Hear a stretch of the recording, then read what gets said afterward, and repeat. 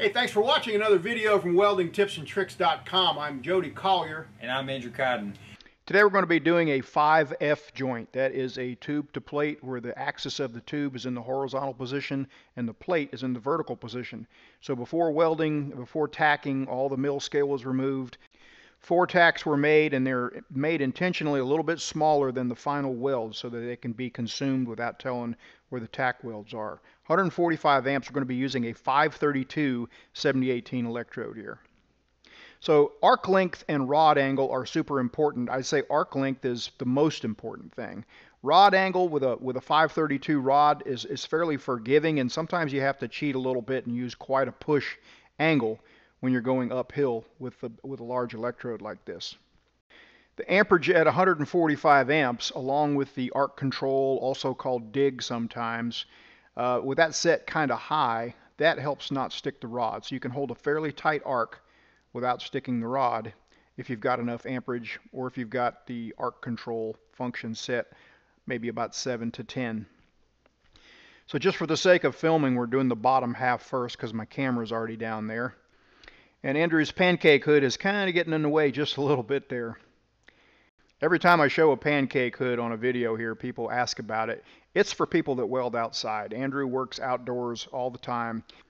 And a pancake hood just blocks out all the light that might otherwise come in the back of your helmet and put glare on your lens and keep you from seeing what you need to see. You need to see things immediately, like on a tie-in or restart or anything like that. And that's why people wear pancake hoods. When they weld outside, they need them, especially pipeliners. Here we go. Here's a restart. Andrew always strikes his arc a good inch or so in front of the crater and drags it back down into the crater and then welds over top of all that stuff that he drug down there so that he doesn't have any arc strikes outside of the weld bead. All arc strikes are reconsumed by the by the weld bead and that's what you want to do on any weld and on any weld test, especially on any weld test.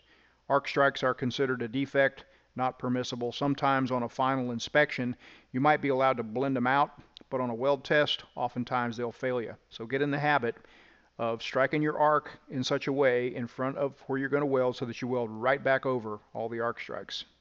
Andrew's moving the ground clamp around a little bit and sometimes that helps with arc blow. With a 532 rod, when you get toward the end of it with an out of position weld like this, sometimes you start getting a little arc blow and that's basically just a magnetic field that's set up from the direction of the current flow and it sort of it makes the rod burn unevenly and it makes you really have to really pack it in there to prevent undercut so sometimes moving the ground around can help.